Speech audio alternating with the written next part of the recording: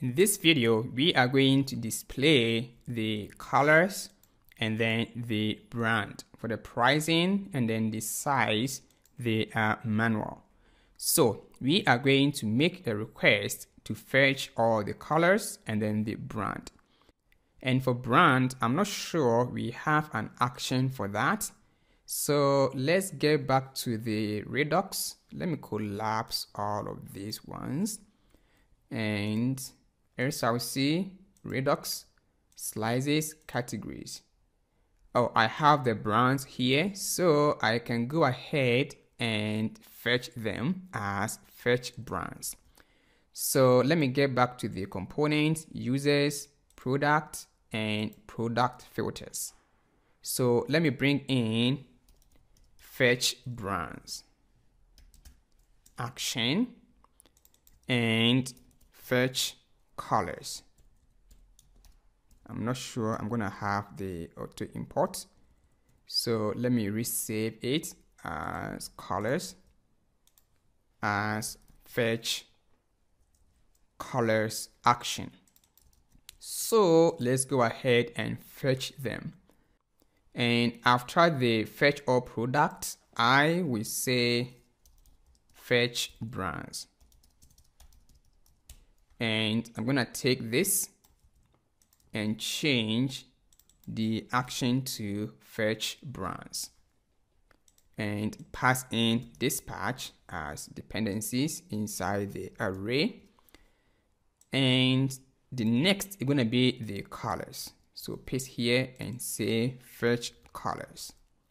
And here as fetch colors action save it and let's refresh it and let's check the store. Uh, we have the brand being fetched. The colors also being fetched. So we can go ahead and display them accordingly. So back to the product filtering here. For the brands we are going to grab from the store. So let's locate. It is inside the brands and dot brands.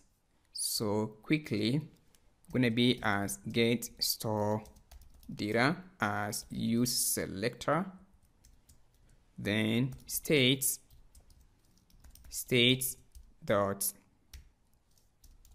brands. And what I want here is the brands from the store. Equal to that so now I'm going to remove the placeholder for this. When I do that, save it and let's have a look. Well, I have some error and it's supposed to be dot brands, going to be nested, right? So let's see the actual error. Yeah, brands is not a function. So let's do nested destruction or you can make use of brands dot brands yeah and let's look at it and we have editors as that. Let me show you where i'm looping through it. Let's scroll down for desktop. And these are the sizes. And scroll down to brands yeah here I'm taking the brands array loop through and display it accordingly as that.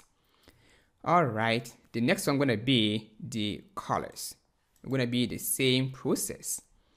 So we are going to destructure or get the data from the store. So up here, I'm going to copy this and for colors down here, paste that and change this one to colors and colors. So let's remove this one as a placeholder. And the same thing, I'm looping through the colors and display it accordingly. So let's save it and let's have a look for the colors and we have two colors under men. If I go to homepage and click on all, and for colors, I still have two colors. What about men?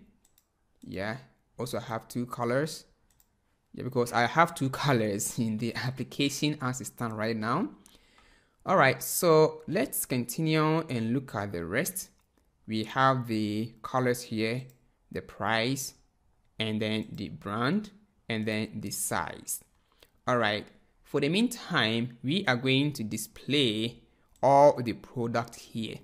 And then we'll go ahead and apply the filtering into it.